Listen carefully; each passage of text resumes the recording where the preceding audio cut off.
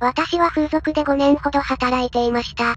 正直身も心もボロボロで、毎日早く辞めたいと思っていました。19の美空で親の借金の方に売られたのが最初でした。その後蒸発した両親に代わりどうにかして借金を返し終えたものの、今度は悪い男に捕まってまた売り飛ばされます。助けを求めたくても天外孤独の身の上で誰も頼れません。よく、一生こんな毎日が続くなら死んだ方がマシと思っていました。幼い頃は幸せな家庭に憧れていました。素敵な人と結婚して可愛い子供を産んで優しいお母さんになるのが夢でした。なんでこんなことになってしまったのか。ある日ぐったり疲れ果て深夜の繁華街を歩いていました。その時にふっと甘い匂いに包まれました。なんだろうと思って振り向いてびっくりしました。場違いな着物の女の人が歩いているのです。彼女は豪奢な曲げを言ってかんざしを刺していました。隣を歩く小さい女の子が真っ赤な傘を差しかけています。時代劇で見た花魁そのままの華やかないでたちでした。驚愕に立ち尽くして、ただ見送る私の前を花魁はしゃなりしゃなり、優雅に通り過ぎていきました。えも言えず妖艶な流し目は同性でもぞくりとします。私が見ているのは幽霊なのでしょうか？しかし恐怖よりは憧れと羨望が胸を締め付けました。バスへの風俗場にしてみればその花魁はあまりに眩しすぎたのでした。間抜けに口を開けて見送っていると、やがて花魁は消えてしまいました。後にはただお白いの残りがだけが漂っています。またあの人に会えるだろうか。その夜から私は同じ道を使って駅に向かいました。結論から述べて会える時もあれば会えない時もありました。それは本当に運としか言いようがありません。強いて言えば私が落ち込んでいる時、疲れている時の遭遇率が高いです。風俗場に説教するのが好きなお客に当たった時、乱暴な客に当たった時、嫌なことがあった帰りの夜に、花魁を見かけると塞いだ心がふっと軽くなりました。今だから告白しますが、私は花魁に一目惚れしていたのです。同性でも関係ありません。初恋でした。彼女の姿はそれはそれは美しく、行事と気概に満ち溢れた姿は輝いていました。またあの人に会いたい。そのためなら辛い仕事も耐えられる。なぜ深夜の繁華街に花魁の幽霊が出るのか、なぜ私にだけ姿が見えるのかはわかりません。もともと霊感などはないはずでした。同僚の子に相談したところ、心の病気だよ。目の錯覚でしょ。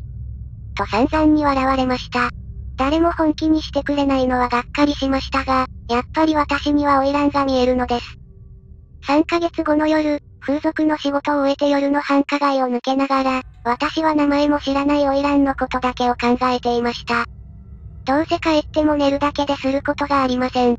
わざとゆっくり歩いているのが災いしたのか、背後からぬっと飛び出た黒い影に気づきませんでした。むぐ静かにしろ。目だけ動かして確かめると、三人組の男たちが下びた笑みを浮かべていました。そばには白いバンが止まっています。そういえばこの辺りで女性の狙った事件が相次いでいると聞きました。私は不運にも犯人たちに捕まってしまったのです。ああ、もうダメだ。口を塞がれて定年した時、またしてもお白いの香りが漂ってきました。あの人です。男たちは鼻先をかすめる匂いに困惑しています。お白いなど嗅いだことないでしょうから、当たり前といえば当たり前です。な、なんだお前は。男たちの視線の先に花魁が現れました。とても怖い顔をしています。般若のような形相です。彼女は恫喝にまるで怯えず、背筋を凛と伸ばしてこちらにやってきました。その気迫に男たちがたじろぎ、私を放り出して逃走を企てます。最後の一人が乗り込むのを待って車が出発し、花魁の人睨みで大幅に道をはぐれ、電信柱に激突しました。大破した車の窓から血まみれの片腕が垂れています。私はすっかり腰を抜かしてへたり込み、花魁と対峙します。花魁がふっと伏せた目に悲哀の念がよぎり、真っ赤な唇が開きました。あんたも区会にいるんだね一瞬何を言われたのかわかりませんでした。キビスを返して闇の奥に去っていこうとする花魁に、虚しく手を伸ばして叫びます。待って。あなたは誰？どうして出てくるの？初恋の人の正体を知りたい一心で追いかけました。男たちに拉致された恐怖に花魁の素性を知りたい好奇心が打ち勝ち、懸命に足を繰り出します。花魁の背中を追って走り続けた先にはお寺がありました。ここは、途中で異変に気づきました。鼻先をかすめるおしろいの匂いが線香の匂いにとって変わり、花魁の曲げがしどけなく乱れ、ハスの茎のように伸びたうなじの肉がそげ落ちていきます。肉の下から見えてきたのは骸骨でした。着物はみるみる色あせてボロボロになります。私の目の前を歩いているのは豪華な打ち掛けを羽織った骸骨でした。あ。骸骨がお寺をくぐっていきます。そこで見失いました。後に広がるのは闇ばかり、線香の匂いが強く香っています。なぜだかボロボロと涙が流れて止まりません。悲しくて切なくて苦しくて、その場にしゃがみ込んで号泣しました。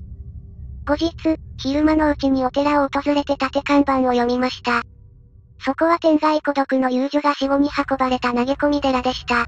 江戸の遊女たちは借金の型に売られ、結核や性病を患い、若くして亡くなる者が大半でした。遊女たちは墓も建ててもらえず、ただ穴に投げ捨てられたのです。私が出会ったのは悲しい遊女の霊だったのでしょうか？お寺に入って供養塔を拝んでいる時、お線香の煙がふわりと広がって女の顔をかたどりました。見間違えるはずもない、花魁の顔でした。私は涙ぐんで彼女と向き合い、そっとキスしました。煙の味がするキスでした。煙でできた花魁の顔が儚げに微笑みます。瞬き一回の地に煙は薄れて消えてしまい、永遠のお別れとなりました。現在、私は店を辞めて資格の勉強をしています。もしあの人に出会わなければやり直すきっかけはつかめなかったと思います。あるいは昔の自分とよく似ている私を放っておけず、メイドの花道を見せてくれたのでしょうか。真相は不明ですが、今度もまたお寺に行き、彼女の冥福を祈ってお線香をあげたいと思います。